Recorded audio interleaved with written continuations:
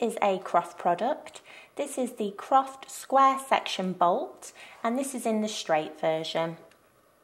So this particular shade the bolt is in is the antique brass. Croft do many different shades so please have a look under the product at which ones are available. So in this bolt Croft do three sizes. This is the size 2 which is 100 millimeters times 28 millimeters and the keep is 15 millimeters long. All screws will match chosen finish. So again, this is the antique brass. So as you can see, it all perfectly blends in. So whichever shade you go for, you'll get all the fixtures that will complement, complement the shade that you have chosen.